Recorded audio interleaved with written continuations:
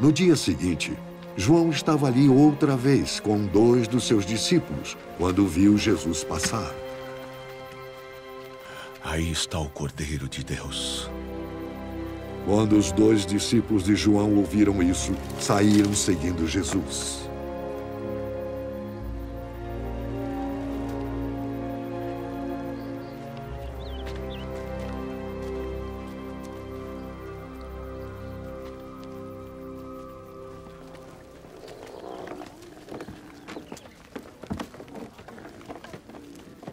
Jesus olhou para trás e viu que eles o seguiam. O que estão procurando? Uh, onde, onde, o senhor, senhor mora? mora? Rabi. Rabi. Rabi quer dizer mestre. Venham e vejam. Então eles foram, viram onde Jesus estava morando e ficaram com ele o resto daquele dia. Isso aconteceu mais ou menos às quatro horas da tarde. André, irmão de Simão Pedro, era um dos dois homens. A primeira coisa que André fez foi procurar seu irmão Simão. Nós encontramos o Messias. Messias quer dizer Cristo. Vem!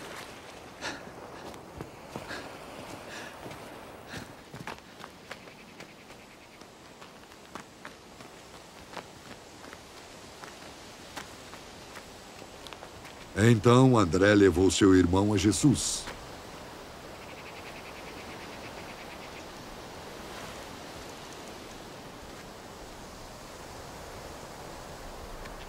Jesus olhou para Simão.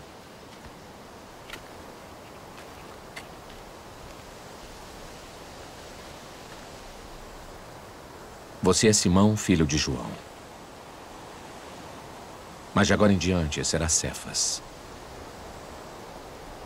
Cefas é o mesmo que Pedro e quer dizer pedra.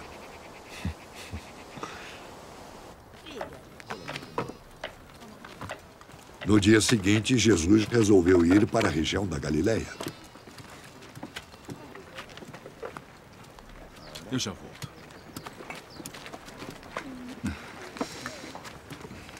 Foi procurar Felipe. E disse: Venha comigo. Felipe era de Betsaida, de onde eram também André e Pedro.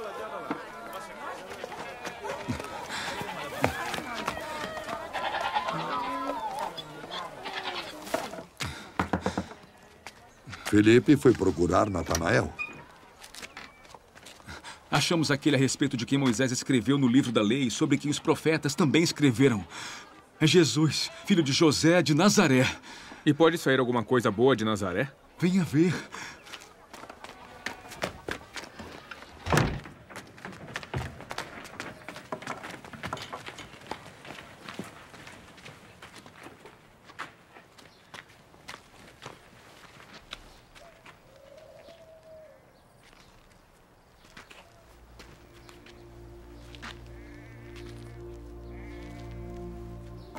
Quando Jesus viu Natanael chegando, disse a respeito dele: Aí está um verdadeiro israelita. Um homem realmente sincero. Como o senhor me conhece? Eu te vi debaixo da figueira antes que Felipe te chamasse.